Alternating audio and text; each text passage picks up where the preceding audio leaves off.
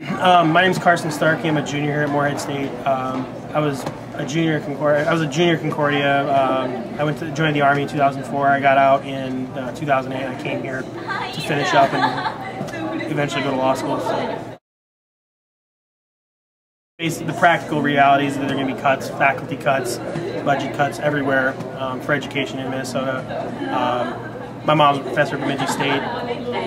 If you're if you're lower on the totem pole, you're probably you're in danger as a professor, as a any kind of any kind of a, a staff at the Minnesota State college system.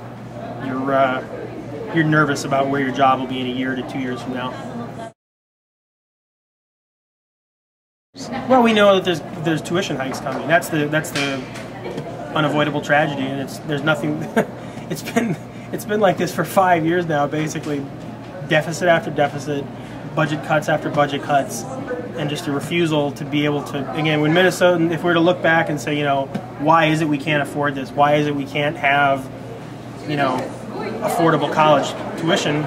Well, we know why because every year we cut into the state education budget more faculty are lost, more you know students students inevitably end up paying more and more. And again, this affects the overall outcome for education, in the, like in a, even in a tri-state area. It used to be the Minnesota State college systems and the and the U were relatively affordable compared to Iowa, Wisconsin, North Dakota, but you know we're losing that. We're no we're no longer as affordable as we should be or used to be.